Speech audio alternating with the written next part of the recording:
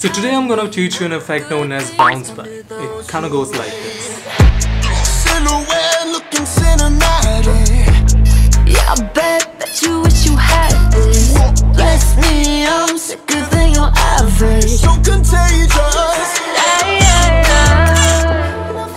So the effect in its essence is very easy to do.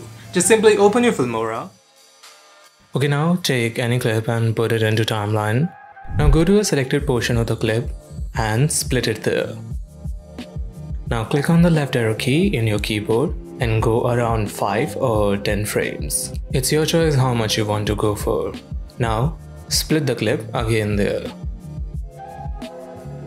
Now right click on this new portion and click on copy. And now paste it again just right after. Now select this new portion and click on the speedometer icon and click on reverse. So now your video will be in reverse. So if you play then you can see that it goes and then bounce back. So now simply select both the portions, click on copy and paste it again after and after. Do it around 2 or 3 times, it's your choice. And now if you play the final part, then it kind of looks like that it is bouncing back.